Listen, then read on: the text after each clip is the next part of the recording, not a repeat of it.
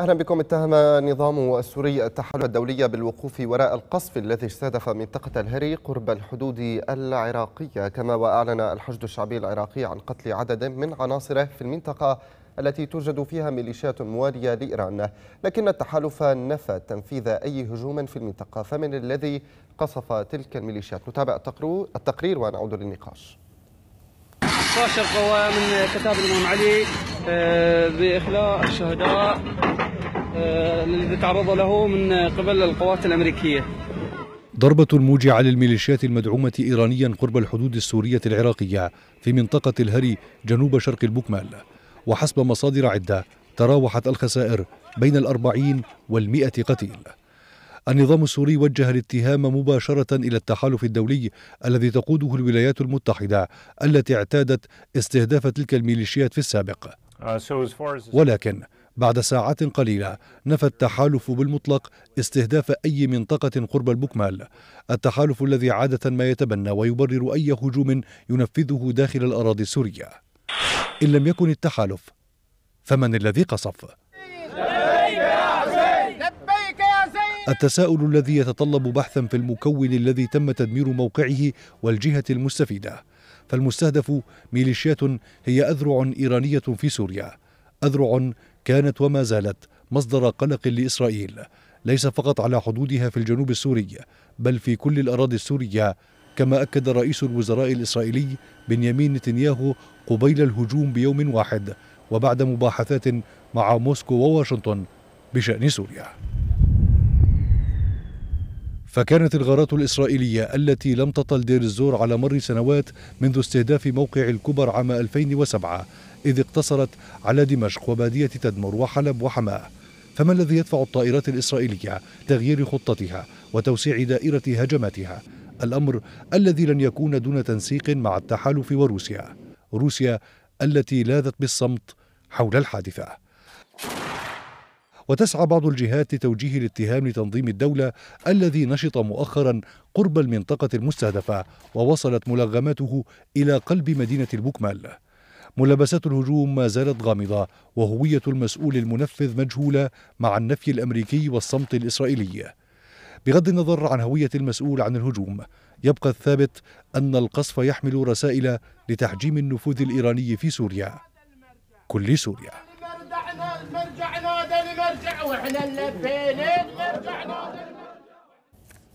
لمتابعة هذا الموضوع معنا في الاستوديو مستشار مركز العراق الجديد للبحوث والدراسات الدكتور عمر عبد الستار ومن غازي عنتاب ينضم إلينا المحلل العسكري العقيد فايز الأسمر. عقيد فايز مرحبا بك. يعني التحالف ينفي قصف مواقع موالية للنظام في البوكمال على عكس النظام الذي يتهم واشنطن ثم يخرج الحشد الشعبي ويعلن مقتل عناصر له في هذا القصف. ما حقيقة ما جرى فعليا بحسب ربط الأحداث من وجهة نظرك؟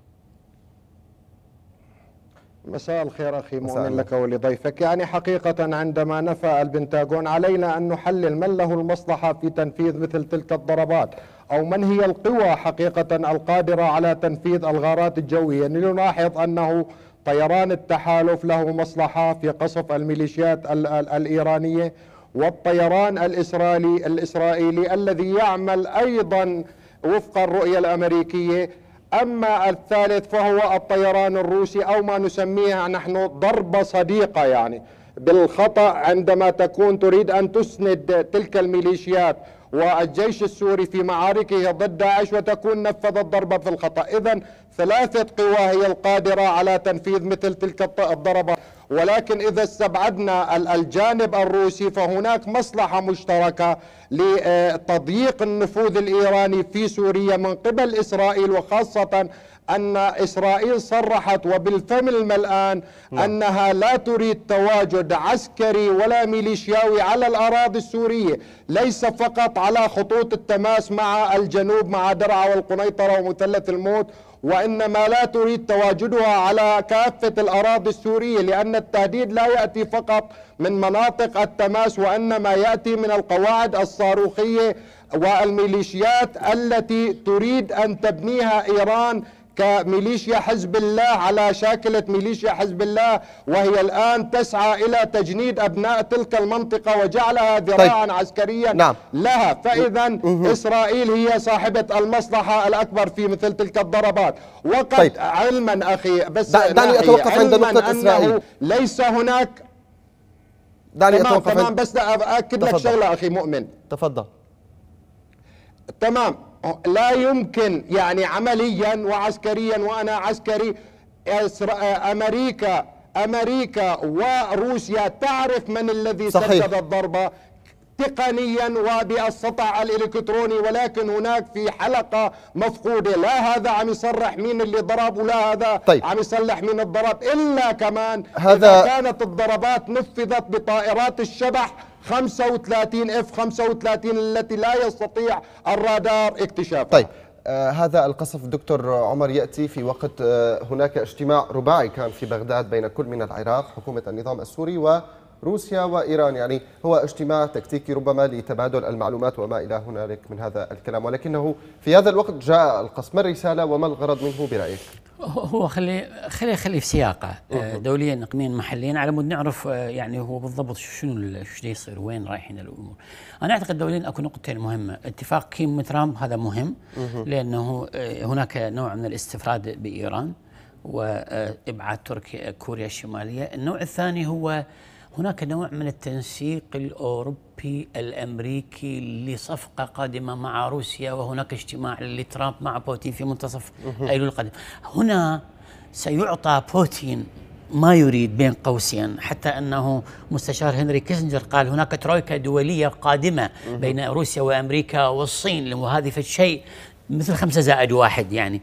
وبالتالي هناك تعامل مع روسيا جديد يصير خلينا نقول اثنين زائد واحد هنا. ومقابله أن ينجز حلا في سوريا بإبقاء بشار إلى نهاية فترته الانتخابية وإخراج إيران وحزب الله من سوريا لتل أبيب. ويعني موضوع تل أبيب ومستشارين عسكريين على الحدود إلى آخره بالإضافة إلى ربما خروج أمريكا محتمل قادم تدريجي من من سوريا. هذا السياق الدولي هم السياق الإقليمي هناك تصعيد في اليمن وهناك تصعيد في سوريا مع تهدئة في لبنان والعراق. نتكلم عن العواصم الأربعة عندما نتكلم عن محور إيران. وبالتالي هنا يأتي تصعيد الثالثة المحلية الحقيقة. محلية هنا آه، طبعا إقليمين يجب أن يجب أن نذكر أنه هناك هذا العامر اليوم شكل في بغداد. يعني على بداية تشكيل حكومة مع الصدر. وهناك حزب الله في لبنان. صحيح. ما الذي سيقوله حسن نصر الله والهادي العامري بعد هذه الضربة التي شملت فصائل تابعة للحشد الشعبي يعني العصائب عندها 13 مقعد فعليا هي لضرب المصالح الإيرانية في سوريا وضرب الحشد الشعبي الذي هو في داخل الأراضي السورية. يعني فالنقطة محليا هاي المنطقة هي لا شرق الفرات قسد ولا هي المثلث السوري الإسرائيلي الأردني اللي هي منطقة خص. هاي المنطقة تخص منفذ القائم والبوكمال الخط البري الإيراني. فالهدف هو إيش؟ هو قطع الخط البري الإيراني. أنا ممكن هنا أتوقع هنا أود أن أذكر في تحقيق للحياة اللندنية ذكرت في مؤشر جديد إلى تفاقم التوتر في العلاقات الإسرائيلية عفوا الإيرانية الروسية. رفعت روسيا الغطاء الجوي عن إيران. رفعت روسيا حمايتها. يعني هناك اليوم معركة بين داعش وقوات ماعش ربما بدون حماية روسية في سوريا في سوريا وبالتالي رفع الحماية السورية كما يقولون كما يقول و آه، آه، يعني آه، وإخراج حزب الله من من القصير كما يقول الأستاذ فائز سارة ويعني تطورات أدى إلى حصول انفجار هاي الكلام اللي قاله قبل قليل الأستاذ نعم. فائز يعني يشبه بانه ربما يكون نعم. ضربات صديق طيب. يعني. عقيد عقيد فايز ما السيناريوهات المحتملة لهذا القصف وإن كانت إسرائيل فعلا هي من تقف وراءه. يعني هنا تكون بذلك انتقلت إلى خطوة أكثر تطورا إن صح التعبير وهي الدخول إلى العمق السوري وضرب مواقع حساسة ليس فقط القوات الإيرانية بل من يوالي إيران. يعني وكأنه رسالة هي لحزب الله وللقوات العراقية التي تدخل بإذن من الحكومة العراقية كالحشد الشعبي. تمام أستاذ مؤمن يعني أمريكا لو هي فعلتها ما هي خايفة من نظام بشار الأسد ولا من الحشد الشعب الشيعي وخاصة أن العبادي هو ضمه وأصبح عنصرا من عناصر الجي الجيش العراقي. حتى ممول ماديا من من ميزانية وزارة الدفاع فاذا يجب أن يسأل العبادي عن تدخله في الأراضي السورية بواسطة الحج الشعبي. الأمر الثاني امريكيا إذا جينا ونقول امريكيا أمريكا لها خطين أحمرين لا غير في سوريا وتصرح بالضربات وهي عبور ميليشيات قسد وحدثت هناك وحتى ضربت جنود روس إلى الجهة الش...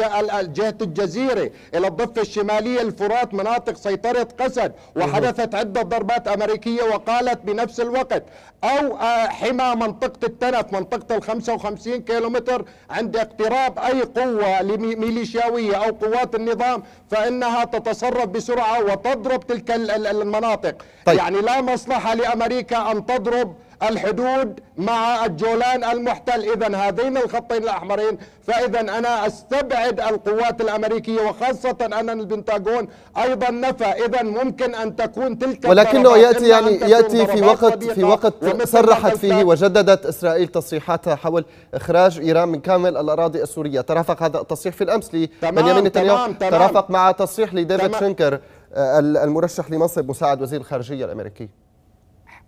حتى حتى ماتس قال عندما ننتهي من من قتال داعش لن ننسحب من سوريا وسنقلم أظافر إيران في المنطقة وتقليل نفوذها في المنطقة، اذا هناك متغيرات سياسية وأيضا تكتيكية على الأرض وممكن أن تأخذ أكثر من وجه تلك الأمور، ولكن أمريكا حقيقة أنا أستبعدها وأستقرب إما أن تكون ضربة صديقة أو حتى أن تكون لولا أنهم صرحوا ميليشيات الحج الشعبي ب 22 قتيل ما عدا قتل النظام وما عدا بقية الميليشيات. إذا الأعداد هي كبيرة وكبيرة جدا. أكثر من 100 قتيل وأعداد الجرحى امتلأت بهم مشافي الميادين وألبوخمال وحتى طيب. مشفى العسكري في دير الزور.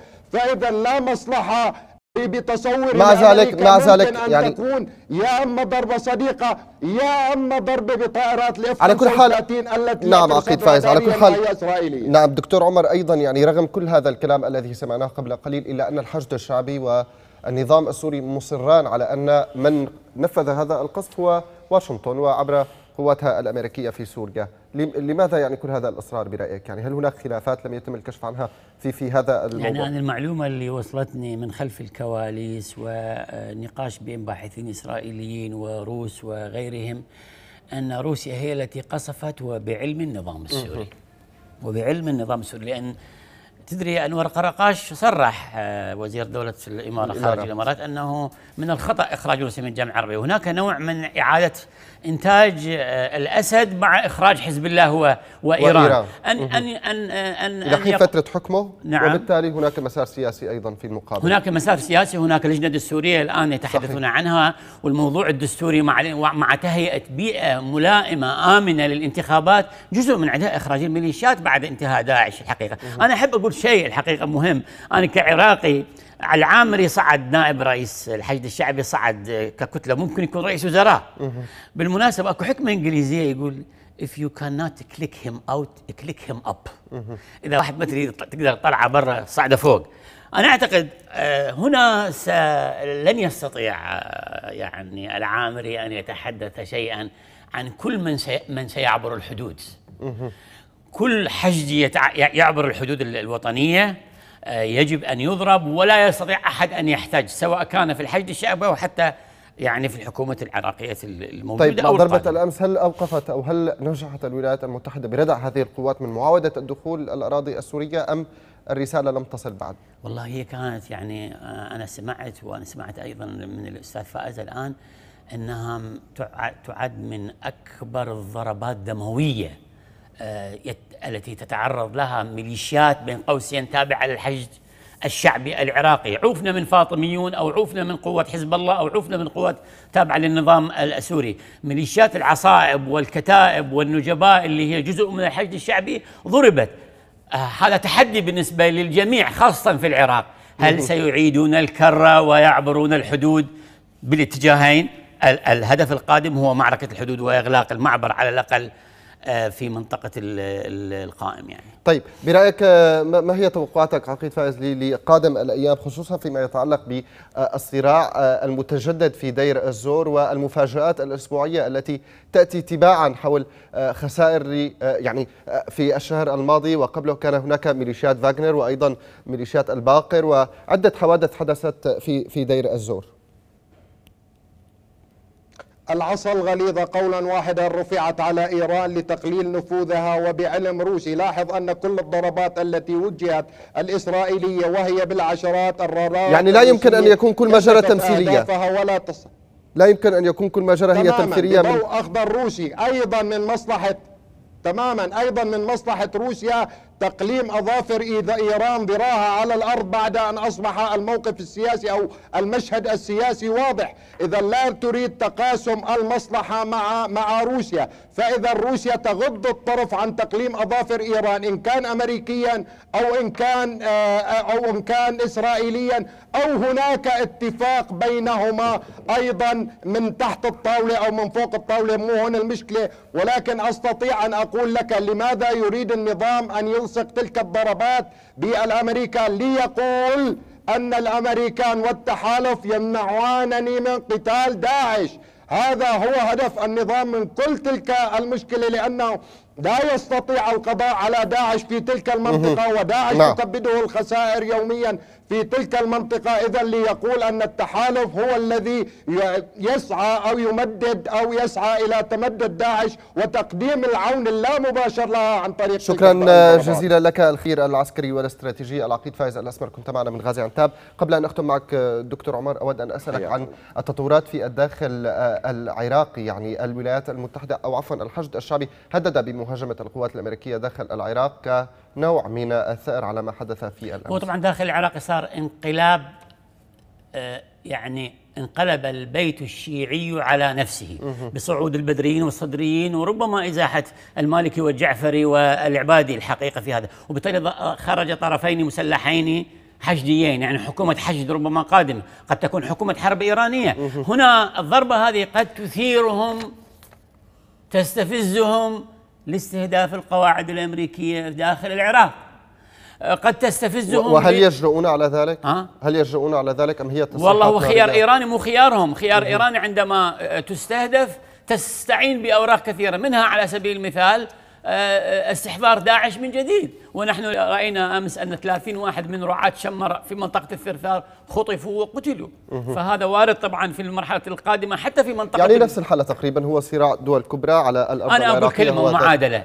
ما ما دام داعش موجودة فالميليشيات بخير وما دام الميليشيات موجودة فداعش بخير. هؤلاء وجهان لعملة واحدة ما لم يعني يعامل بنفس الطريقة فنحن سنظل في هذه الحلقة المفرغة شكرا جزيلا لك على هذه المشاركة. الدكتور عمر عبد الستار المستشار في مركز العراق الجديد للبحوث والدراسات. مشاهدينا الكرام أشكركم أيضا على حسن المتابعة. لا تنسوا أن تتابعونا غدا في نفس الموعد. أيضا الزميل معاذ محارب على رأس هذه الساعة. بأمان الله.